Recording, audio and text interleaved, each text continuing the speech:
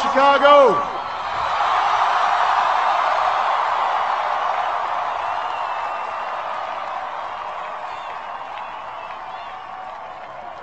If there is anyone out there who still doubts that America is a place where all things are possible, who still wonders if the dream of our founders is alive in our time, who still questions the power of our democracy, tonight is your answer.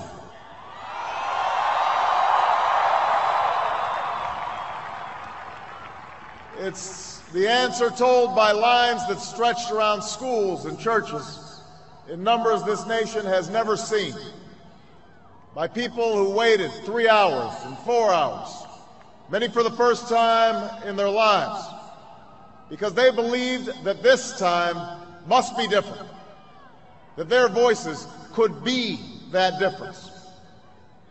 It's the answer spoken by young and old, rich and poor, Democrat and Republican, black, white, Hispanic, Asian, Native American, gay, straight, disabled and not disabled, Americans who sent a message to the world that we have never been just a collection of individuals or a collection of red states and blue states. We are and always will be the United States of America.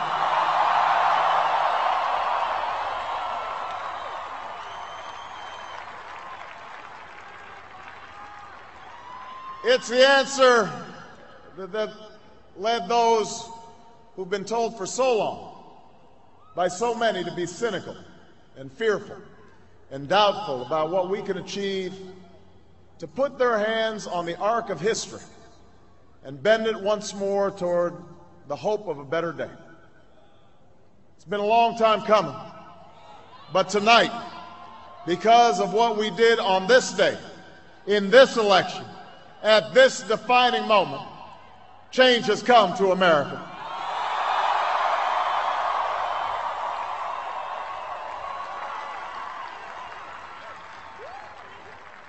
Little bit earlier this evening, uh, I received uh, an extraordinarily gracious call from Senator McCain. Senator McCain fought long and hard in this campaign, and he's fought even longer and harder for the country that he loves. He has endured sacrifices for America that most of us cannot begin to imagine. We are better off for the service rendered by this brave and selfless leader. I congratulate him. I congratulate Governor Palin for all that they've achieved. And I look forward to working with them to renew this nation's promise in the months ahead.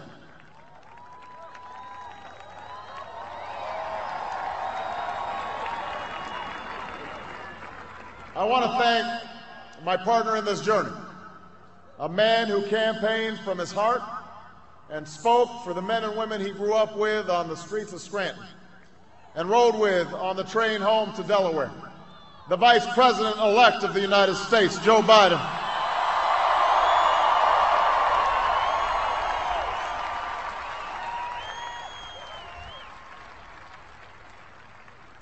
And I would not be standing here tonight without the unyielding support of my best friend for the last 16 years, the rock of our family, the love of my life, the nation's next First Lady, Michelle Obama.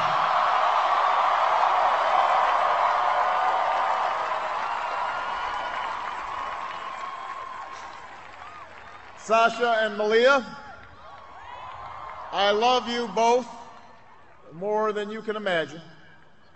And you have earned the new puppy that's coming with us to the White House.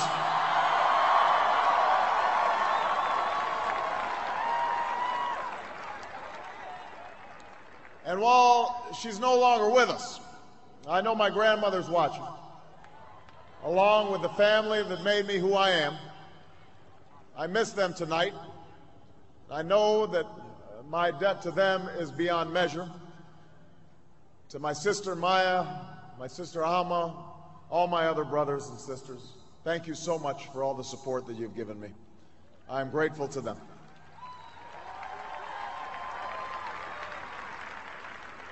To my campaign manager, David Plouffe,